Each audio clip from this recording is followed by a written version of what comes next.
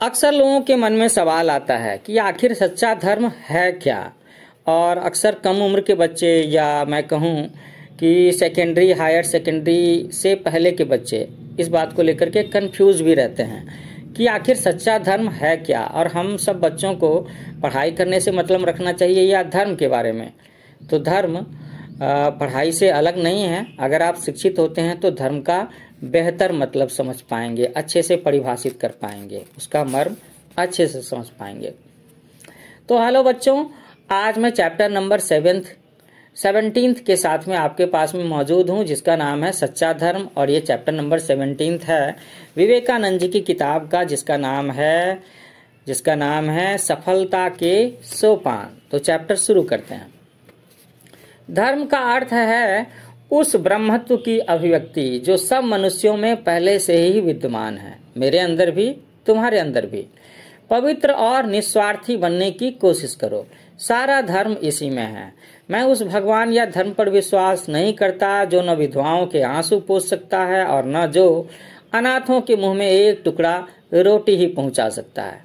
किसी धर्म के सिद्धांत कितने ही उद्यात एवं उसका दर्शन कितना ही सुगठित क्यों न हो, जब तक वह कुछ ग्रंथों और मतों तक ही परिमित है, मैं उसे नहीं मानता। तो विवेकानंद जी का कहना है कि धर्म का आखिरी लक्ष्य लोगों का, मनुष्यों का, इंसानों की भलाई में होना चाहिए, उनके जीवित रहने में होना चाहिए। वो कहते हैं कि, बच्चों, तुम्हारे लिए नीति, परायणता तथा साहस को छोड़ करके कोई दूसरा धर्म नहीं। तो स्टूडेंट्स ये क्लियर हो गया ना कि बच्चों के लिए और स्टूडेंट्स के लिए धर्म का क्या मतलब है? उनके लिए धर्म का मतलब है साहसी होना और नीति परायण होना मोरल वैल्यूज़ की रिस्पेक्ट करना फॉलो करना। इसके सिवाय और कोई धार्मिक मत, मतांतर तुम्हारे लिए है ही नहीं। कायरता, पाप, असदाचरण तथा दुर्बलता तुम में एकदम नहीं रहनी चाहिए, क्योंकि ये चीज़ें अधर्म हैं। बाकी आवश्यक वस्तुएँ अपने आप आकर उपस्थित हो जाएँगी अगर तुम्हारे अंदर में असदाचारण दुर्बलता की भावना नहीं होगी। मानव मात्र के लिए स्नेह और दया ही सच्ची धार्मिकता की परख है। तो अगर कोई आदमी धार्मिक है या नहीं, इसकी जाँच करनी हो तो हमें देखना होगा कि उसमें दुनिया के बाकी मनुष्यों के लिए स्नेह या दया की भावना है कि नहीं है। नहीं है तो इसका मतलब वो धार्मिक होने का ढोंग बस कर रहा है। क्या तुम निस्वार्थ हो? यदि तुम हो तो चाहे तुमने एक भी धार्मिक ग्रंथ का अध्ययन न किया हो, चाहे तुम किसी भी गिरजा या मंदिर में न गए हो, फिर भी तुम पूर्णता को प्राप्त कर लोगे। जिससे बल मिलता है, उसी का अनुसरण करना चाहिए। अन्यथा, विषयों में जैसा है, धर्म में भी ठीक वैसा ही है, जो तुम्हें दुर्बल बनाता है। वह समूल त्याज्य है। रहस्य, स्त्रीहा, मानव मस्तिष्क को दुर्बल कर देती है। धर्म के बारे में कभी भी झगड़ा मत करो।